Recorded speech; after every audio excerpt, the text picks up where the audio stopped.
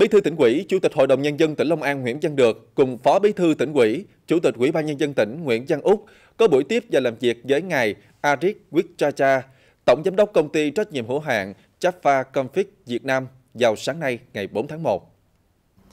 Trao đổi với lãnh đạo tỉnh Long An, ngài Arik Wichacha cho biết, Mặc dù chịu nhiều tác động của dịch Covid-19, song công ty luôn vượt khó sản xuất, nhờ đó mà trong năm tăng trưởng 25%. Đạt được kết quả này, ngoài những cố gắng của công ty, thì có sự quan tâm tạo mọi điều kiện kịp thời của địa phương để công ty duy trì sản xuất. Đặc biệt trong giai đoạn cao điểm của dịch bệnh, Long An luôn ưu tiên nguồn vaccine cho công nhân và triển khai nhiều chính sách linh hoạt để công ty vừa chống dịch, vừa duy trì phát triển sản xuất kinh doanh. Tới đây, công ty mong muốn tiếp tục nhận được sự hỗ trợ đắc lực từ chính quyền Long An, nhất là nguồn vaccine tiêm mũi nhắc lại và tạo quỹ đất mới để công ty mở rộng sản xuất. Đáp lời ngài Arik Quyết cho cha, Bí thư tỉnh ủy Nguyễn Văn Được bày tỏ vui mừng khi công ty trách nhiệm hữu hạn Jaffa Config hoàn thành tốt mục tiêu kép và mong rằng trong năm tới, công ty tiếp tục duy trì ổn định sản xuất để tiếp tục gặt hái thêm được nhiều thành công.